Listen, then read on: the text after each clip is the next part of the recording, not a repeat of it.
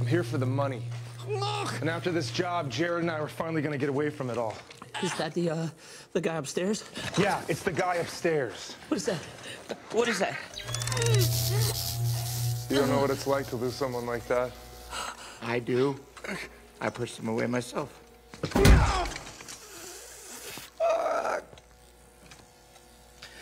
Don't fuck with me, asshole.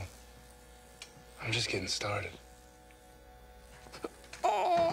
Now, you know what? Let's relax a little bit. Let's turn these off.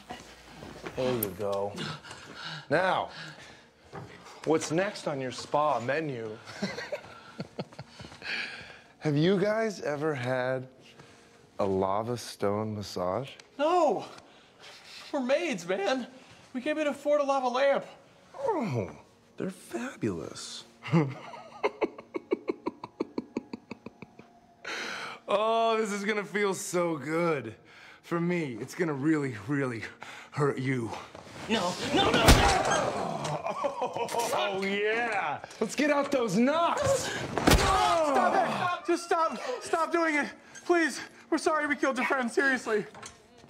My what? My what? Your friend. My friend? You sound like my dad. He wasn't my friend. He was my everything. Hey, fuckface! Alex, stop. What are you doing? No, no, no, no. Fuck this crybaby. Oh, why you being such a fucking crybaby? Oh, my lover's dead. You know what you should do? Take your own dick, shove it up your own butt, impregnate it, have a butt baby.